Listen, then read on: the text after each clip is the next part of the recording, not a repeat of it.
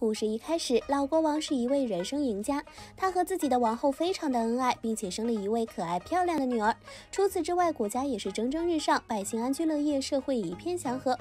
更让国王开心的是，他拥有一头聚宝驴。这头驴只要吃草，就能拉出无数金银财宝出来，可以说是传说中的印钞机。只是好景不长，国王迎来了他人生中的第一次悲伤。美丽善良的王后病重去世了，大臣们纷纷上奏，要求国王开始考虑迎娶新王后和王位继承的事情。这时，国王想起自己曾经在王后临死前答应了他一件事，那就是迎娶的新王后一定要比老王后更加漂亮。于是，大臣们开始到处搜寻邻国翠翠的照片。只不过这些翠翠都是庸脂俗粉，根本比不了王后的绝世容颜。时间过去了很久，国王依旧没有找到比去世王后更加美丽的女人。直到这一天，国王看到了自己的女儿翠翠，他发现世上只有公主翠翠能比去世的王后漂亮。于是国王提出要迎娶翠翠。翠翠得知后不知所措，就迅速去找了仙女求教。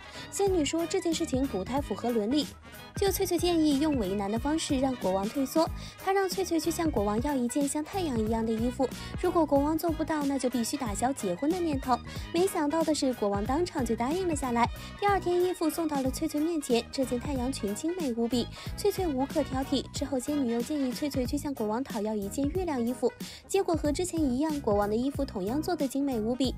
翠翠这下慌了，她实在不想答应这门婚事。这次仙女想到了更狠的办法，那就是向国王提出要用那头聚宝驴的驴皮给翠翠做衣服。国王丝毫没有犹豫，直接将驴皮衣做了出来。原来调皮的翠翠曾经偷偷喂了神驴一块肉。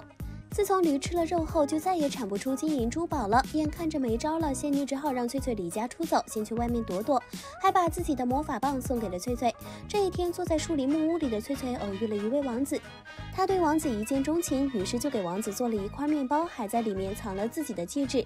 回到王宫的王子也开始对翠翠念念不忘，每天对着戒指茶不思饭不想。王子的母亲发现了这件事情，就开始帮助王子全国上下寻找这位可以戴上戒指的姑娘。由于翠翠。手指的尺寸较小，所以全国的少女都陷入了疯狂瘦手指的训练当中。最终，翠翠被王子带回了王宫。婚礼当天，翠翠穿着太阳衣嫁给了王子，而此时。